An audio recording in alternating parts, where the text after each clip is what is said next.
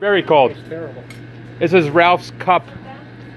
Got put in jello.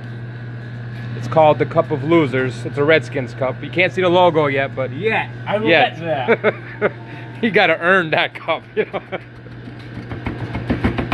There you go. See, you're getting up. Tearing it apart. Look at, there's the logo. Yeah, keep it on there. It's gonna make a big mess. I would clean the table. Oh, there it is. I see it.